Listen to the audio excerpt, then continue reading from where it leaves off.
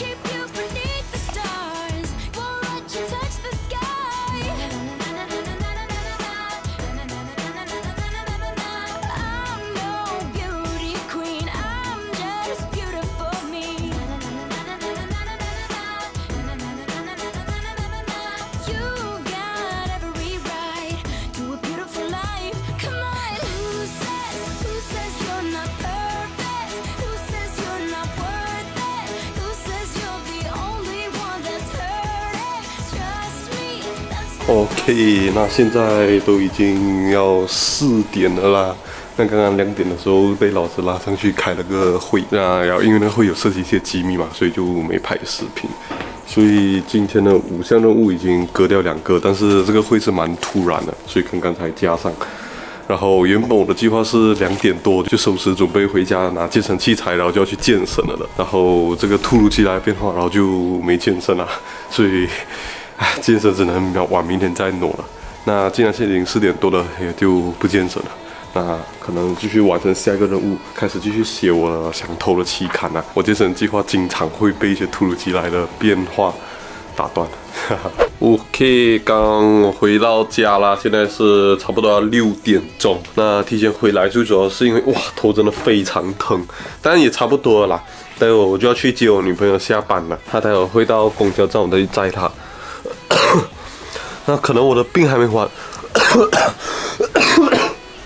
还没有完全好。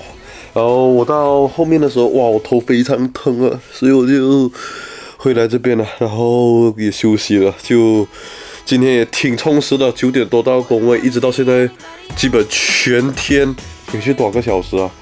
九点多到现在十、十一、十二、一二三四五六，差不多九个小时，整个效率是 all max。除了吃饭和稍微休息一点以外，其余的时间根本就是效率 all max 开满在干活。然后，可能是因为这个如此吧，加上身体还没有康复，哇，我头现在很疼，所以我现在可能先躺着休息一会儿，看会儿比赛，然后去接我女朋友，吃个晚饭，然后再度过美好的晚上啦。压完了之后，后面是裸飞鞋出跳刀，然后再做 A 仗。火女见一次面被踢一次，踢一次就死一次。好吧，有准备的。呜呼，刚刚这个快递到了啦，好大一箱。我们你们猜猜是什么呢？就是各位期待已久的阅读书家终于来了啦。那其实差不多接近半年前嘛，我就有预告和各位说要开始做了。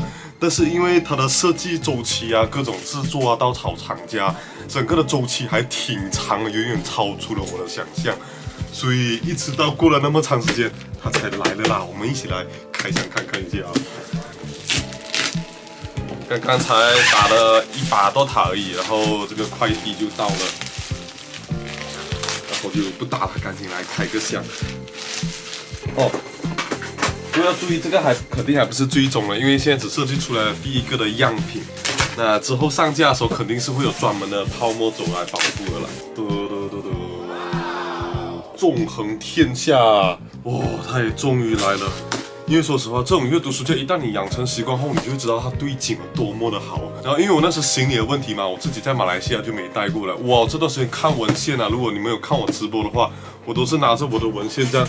悬空在上面这边看了，如果你让我平放在桌子的话，我的颈椎就炸了，所以我一直在很期待它的到来。现在它终于到来了，我终于可以好好用它看文献释放我的颈椎了。第一眼，都都都都，我都还没我都还没看过，我都不知道里面怎么样。有一个这样的手册哦，还有背面有一个我写给我亲手写给你们的信。那具体买给你们买了后才来看啊，字体有点丑，不要见怪。外国人会写普通话就很好了。还有一些我的照片，还有和酱酱的照片啊，确实挺挺感动的。终于来了，嘟嘟嘟嘟，纵横天下，金汤一样也是设计了之前那样一个卡槽的设计，然后后面也是一样的一个这样的，哒哒哒哒，他终于回来，哦，我终于可以试到颈椎了，我明天就要拿去工位了。嗯，这车质量真的很好，各位敬请期待啦，之后会再有一些更详细的视频和各位。分享一下，今天这个小小开箱就到这边了。OK，那现在可能我也不打到塔的啦，毕竟现在有都已经十点多了。嗯，可能继续写一会儿我的文章吧。今天晚上继续加班呐，所以我们一起继续加油。